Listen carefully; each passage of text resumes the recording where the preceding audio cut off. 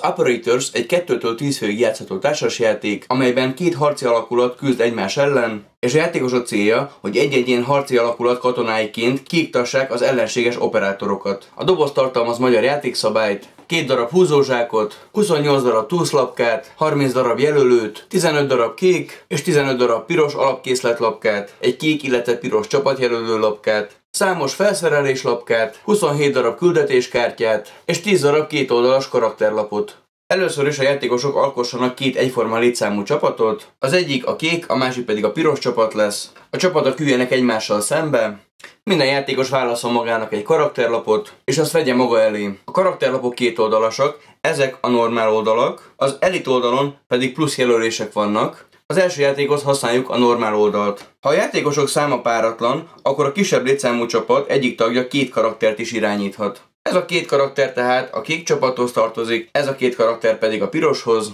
Minden karakterlapon három sáv látható itt. A legfelső az életerő, a második a páncélzat, a harmadik pedig a pénz. Minden sávon van egy külön megjelölt mező, ez a kezdőértéket mutatja meg.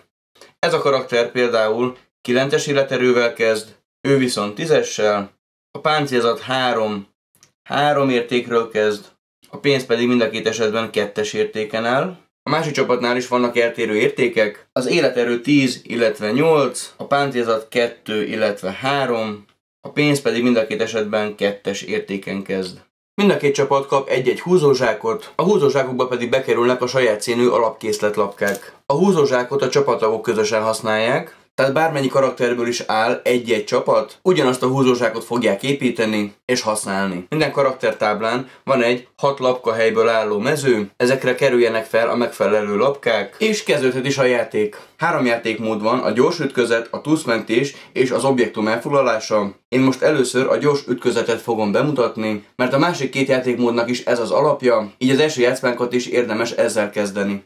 Ez a játékmód egyetlen ütközetből fog állni, az ütközetben pedig több csata lesz. Egy-egy csata mindig két karakter között zajlik, alapvetően az egymással szemben álló karakterek csatáznak, de ha egy karakternek az életereje nullára csökkenne és kiesne a játékból, akkor a szemben álló karakter nem vele, hanem a mellette lévő karakterrel fog csatázni.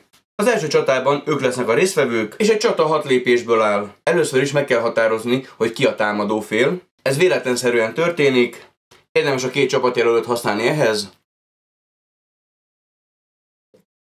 Így tehát a kék csapat karaktere lesz a támadó, a második lépésben a két karaktert irányító játékos húz 3-3 lapkát a saját csapatának a húzózsákjából, és ezt a 3-3 lapkát kirakják maguk elé, a húzás után a harmadik lépésben pedig ezeket a lapkákat ki kell értékelni. Először mindig a sebzést okozó lapkákat kell kiértékelni, és a típusonkénti kiértékelés egyszerre zajlik, így gyakorlatilag két karakter egymást egyszerre sebesíti meg. A töltény például kettő sebesülést okoz az ellenséges karakternek, ez páncélzattal kivéthető, tehát amennyiben az ellenséges karakternek van páncélzata, az csökken, mivel neki most kettőn áll a páncélzata, csökken kettővel, így az életereje nem csökkent. Ha például csak egy páncélzata lett volna, akkor az csökken egyel, majd az életereje is csökken egyel. A kés az egyetlen sebesülést okoz, ez azonban nem védhető ki páncélral, tehát ez a karakter hiába rendelkezik hármas páncélzattal, az életereje egyel csökken. A sebzést okozó lapkák kiértékelése után következnek a páncélzatnövelő lapkák. Ilyet most egyik karakter sem húzott, de ilyen páncélzatnövelő lapka például a sisak, illetve a golyóálló mellény. A sisak egyen növeli a páncélzatot, a golyóálló mellény pedig kettővel. A páncélzatnövelő lapkák kiértékelése után következnek a gyógyító lapkák. Jelenleg ezzel sem rendelkeznek a játékosok, de a későbbiekben előfordulhat,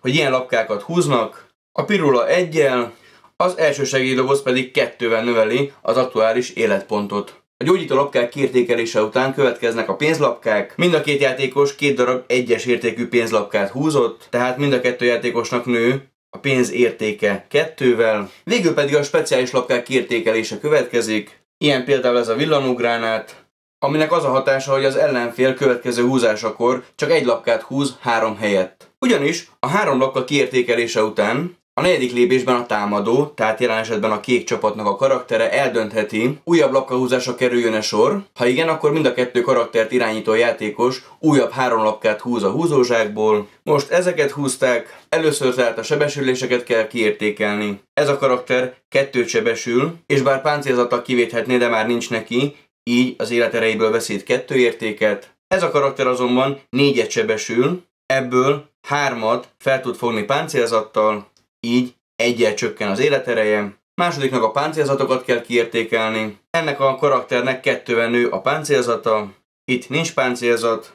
Harmadiknak a gyógyítólapkák következnek, egyik játékos sem húzott olyat. Negyediknek a pénz, mind a kettő játékosnak egyenlő a pénz mennyisége. Ötödiknek pedig a speciális lapkák, de erre most nem kerül sor. A támadó ezután újra eldöntheti, hogy további három lapkát húz-e mind a két játékos. A döntések előtt bármikor belenézhetünk a saját zsákunkba, megnézhetjük, hogy mennyi és milyen lapkák vannak ott, és akkor is kezdeményezhetünk húzást, ha a zsákban egy vagy kettő lapka van, és előfordulhat, hogy ennél az utolsó húzásnál más mennyiséget tud húzni a két csatában érintett karakter. És az a rész háromféleképpen érhet véget, ha a támadó úgy dönt, hogy ne húzzanak további lapkákat a játékosok, akkor a csata lezárul. A másik lehetőség, hogy valamelyik fél kihúzza az utolsó lapkáját is a húzózsákból, csatából, ezután már újabb húzás nem kezdeményezhető. A harmadik lehetőség pedig, hogy a csata úgy is véget érhet, ha valamelyik érintett karakternek az életereje nullára csökken. Akárhogy is ér véget a csata, a csatában érintett karakterek közül, aki életben maradt, most felszerelést vásárolhat. Felszerelést mindenki alapvetően a saját táblájáról vásárolhat, a költségek pedig mindig a lapkák mellett láthatók. Például ennek a hármas tölténynek a megvásárlása 5 pénzbe kerül, a pirulái 3-ba, a rohampajzsé pedig 4-be. Tegyük fel, hogy a támadó azt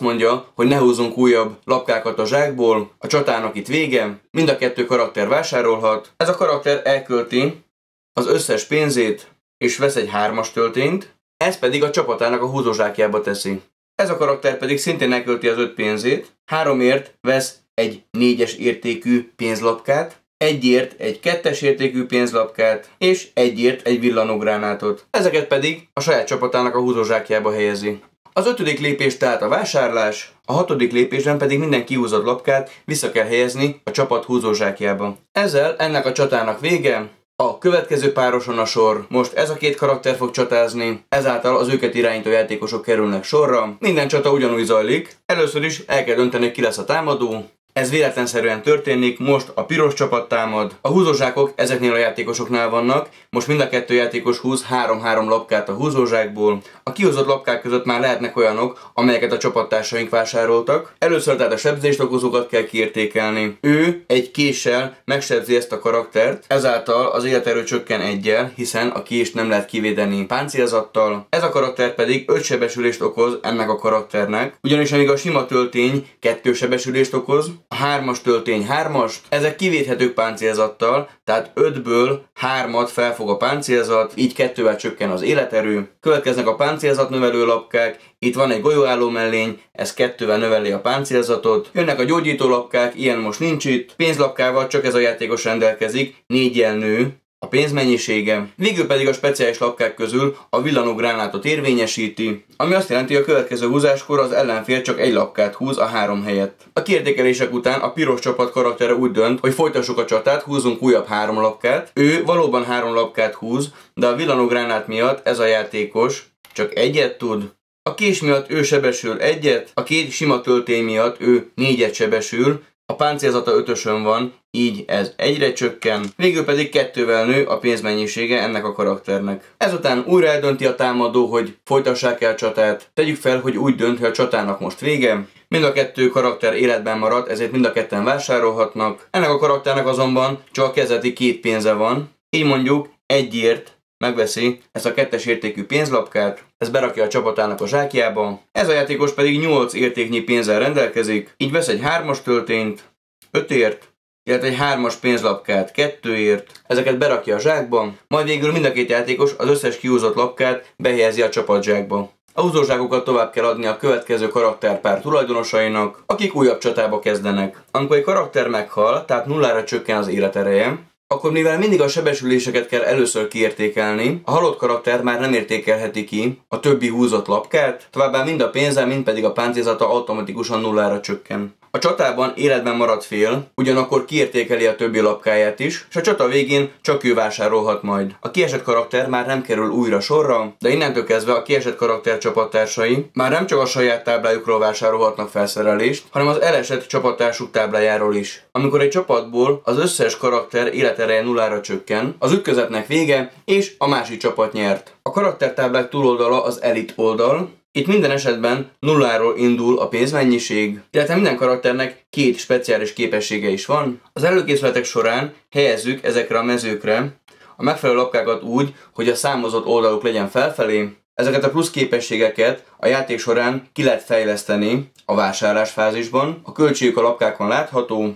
Ha valamelyik képességet kifejlesztettük, meg kell fordítani a lapkát, innen lehet látni, hogy ez a képesség innentől kezdve aktív, és például a Góliát képességei a következők. Parancsnokként kiértékeléskor a sisak, golyóálló mellény, rohampaj, spirula, elsősegély doboz lapkákat tetszőlegesen szétozhatja saját karaktere és egy kiválasztott csapattársa között. Tehát bár ő az aktív karakter, a páncélzatnövelő, illetve a gyógyító lapkákat egy másik csapattársára érvényesítheti. Veteránként pedig, amikor a zsákból saját színű lapkát húz, ezek értéke egyen nagyobbnak számít, így például ezzel a hármas töltényel ő négyet fog sebezni. Bármely játékmód esetén dönthetünk arról, hogy a karakterek normál vagy elit oldalát használjuk, és a most bemutatott gyors ütközeten kívül még két játékmód van. Az objektum elfoglalása játékmód legfeljebb 5 egymást követő ütközetből áll. Ehhez szükség lesz az objektum elfoglalása kártyákra. 5 különböző típusú kártya van, a, B, C, D, illetve E jelölésekkel. Mindegyik típusból három kártya van. Először az E jelölésű kártyákból kell kiválasztani egyet véletlenszerűen, azt képen lefelé lehelyezni. Erre egy véletlenszerűen választott D kártya kerül, amire a C, a B, illetve A jelölésű kártyákból is rá kell rakni egyet-egyet. Az első ütközetben az első kártya lesz érvényben, a második ütközetben a következő, és így tovább. Egy-egy ütközet győztes csapata megkapja az aktuális kártyát, és amelyik csapat előbb szerez meg három kártyát, az nyeri a játékot. Tehát a teljes játszma legalább három és legfeljebb öt ütközetből áll majd. Ezek a kártyák minden esetben módosítanak valamelyik szabályon. Ebben az esetben minden hármas töltény egyel olcsóbb. Ebben az ütközetben az első segélydobozokat lehet egyel olcsóbban megvenni. Itt a sisak egyen nagyobb páncélzatot ad. A gránát alapvetően egyet sebesít, illetve van egy speciális hatása is, mi pedig az, hogy a gránátot kihúzó fél kidobhat a játékból egy általa az adott csatában korábban kihúzott és kiértékelt lapkát, ez a lapka visszakerül a játék dobozába. Ez a hatás pedig azt jelenti, hogy a gránát egyen nagyobb sebesülést okoz, így pedig a kés okoz egyen nagyobb sebzést. A harmadik játékmód pedig a túlszejtés. Ehhez szükség lesz a túszkártyákra. Túszkártyákat keverjük meg, és véletlenszerűen válaszunk 5 lapot. Ezek képpel lefelé egy paklit fognak képezni. Az aktuálisan következő túszkártyát pedig mindig az ütközet győztes csapata viszi el. Ők adott mennyiségű túszlapkát kell, hogy behelyezzenek a saját zsákjukba a győzelem után.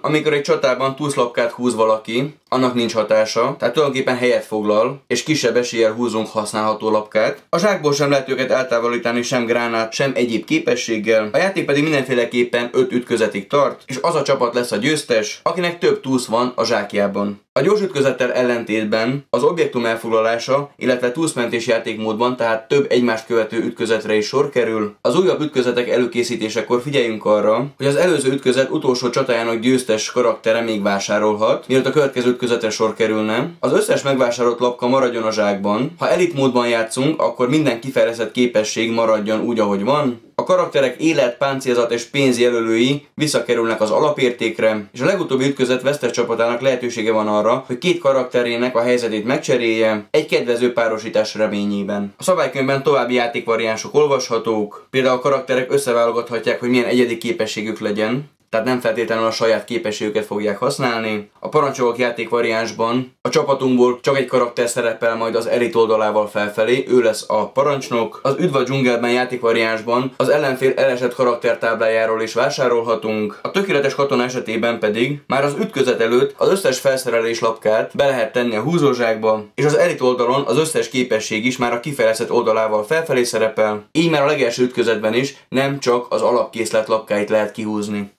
A szabálykönyv végén olvashatók a karakterek speciális képességei,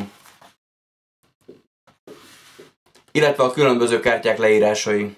Az Operators egy igazán egyedi zsáképítő játék. Nagyszerű hangulatot és taktikai lehetőségeket teremt az, hogy a csapattagokkal közösen építjük a saját zsákunkat. A háromfajta játékmód, illetve a különböző lapkák és a karakterek elit oldalának speciális képességei változatos helyzeteket teremtenek, magas újrajátszhatóságot biztosítanak.